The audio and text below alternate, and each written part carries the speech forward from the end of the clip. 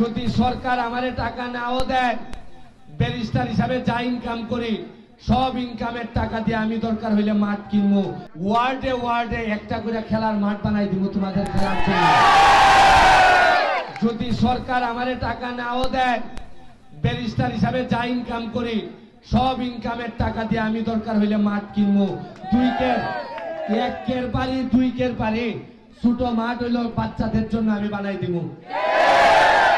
আমি কথা দিছি, যে মাঠ আছে, যে মাঠ বানাইবো এই মাঠগুলাতে বাচ্চাদের জন্য বাবা মা দেয়া লাগবে না। সরকারি ভাবে অথবা ব্যারিস্টার সুমন বল এবং ক্রিকেট ব্যাটের ব্যবস্থা করে দিবে তোমাদের। আমি যতদিন এমপি আছি, আমার বাচ্চারা কেউ বলতে পারবে না, সুমন ভাই, আমার বল নাই, আমি বলের জন্য খেলতে পারি না, সুমন ভাই, আমার ব্যাট নাই আমি পেটের জন্য খেলতে পারি না। কারণ আমার কাজ হচ্ছে গিয়ে আগে বাচ্চাদেরকে মাদক থেকে দূরে নিয়ে, মাঠে নিয়ে, খেলার মাঠে নিয়ে দিতে হবে। শুনেন, আমি আমার পরের স্বপ্নের কথা বলি।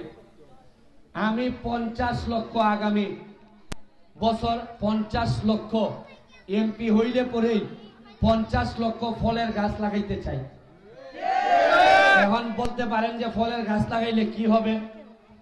ফলের গাছ লাগাইলে হবে দুই বছর, তিন বছরের মধ্যে যখন ফল ধরা শুরু করবে, তখন ফল খাওয়ার জন্য আশেপাশের এলাকা, ব্রাহ্মণবাড়িয়া, হবিগঞ্জ, মৌলভীবাজারের যত পাখি আছে, সব পাখিরা মুসলার কাছে নিয়ে আসবে।